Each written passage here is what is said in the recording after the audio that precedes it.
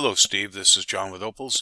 So editing your Opals homepage, you'll start by logging in. I'm logged in. You'll click the pencil on the far right here.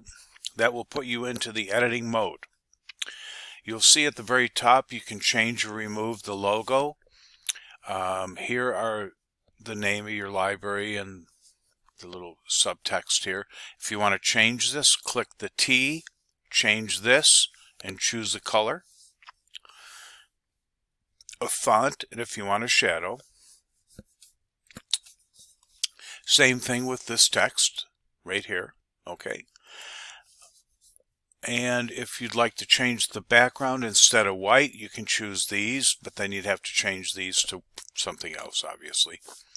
Uh, we have the color wheel here, so you could choose different colors, um, things like that. So that's done right up here at the top. Okay, down in here, if you'd like to change the tabs colors, you'll just click here and you can choose different colors for the tab. So I'm going just through these like this. I'm not going to save this. And I could go something like this. There you go. And then you'll either save and exit, save, or cancel if you're done. Okay, so that that's just a little bit about the basics. Now, uh, search our library. If you want to remove the tab, just click the X. If you want to change anything, like in here, you could highlight it, delete it, and type whatever you like. Okay. The online resources.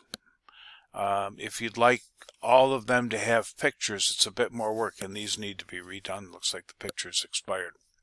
Um, you'd have to pull up each of these sites and then get an image, etc. Um, if you're going to go that route, let me know. I don't want to get too heavy-handed here in this short clip.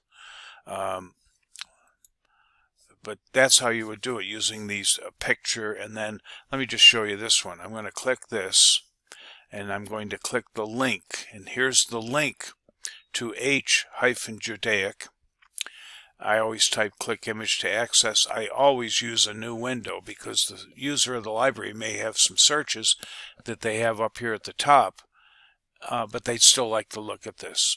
so use a new window is the best way on any of these images. Okay. Here's some news feeds, RSS news feeds. You get these by searching the net um, and find RSS. And here is what controls these title description or title, show the first however many, same over here, just click the little cog, okay. Uh, children's sites, these are just sites for young folks. Um, again, if you highlight this, by the way, I'm using Firefox. I find it to be easier to edit your Opals homepage using Firefox.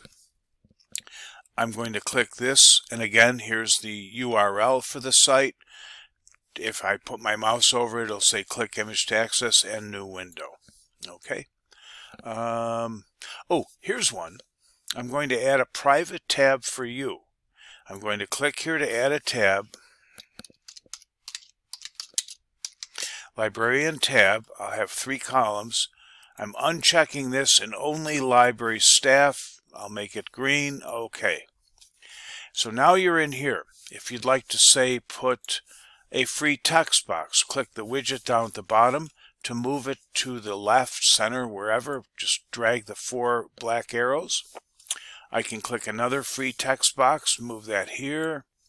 And once in here, you can type in notes for yourself.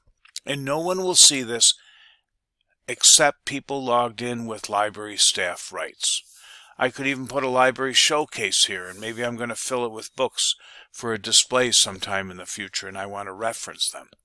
So I'm just going to leave that just, you know, like that. But this is a private tab uh, that only you will see. Actually, hang on a minute. I'm going to cancel.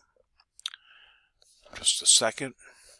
I'm going to start over. Be oh, there, you already have library staff. I already did it. Okay, yeah, free text for notes. Okay. Must have done it last time, didn't see it. So I'm back in the editor. We go to the library staff. Okay, we can move that over here. And we can add a library showcase if you wanted to put some books in there for people to view. And maybe the same showcase would be in the physical library. and then I could put in um, another um, free text box right here and then save and exit. So I'll, I'll keep this very short. The, that's the basics. I'm going to send you another uh, recording that's probably the same, but it's more generic and it's a bit, I recorded it some time ago, but I'm going to send both of them to you.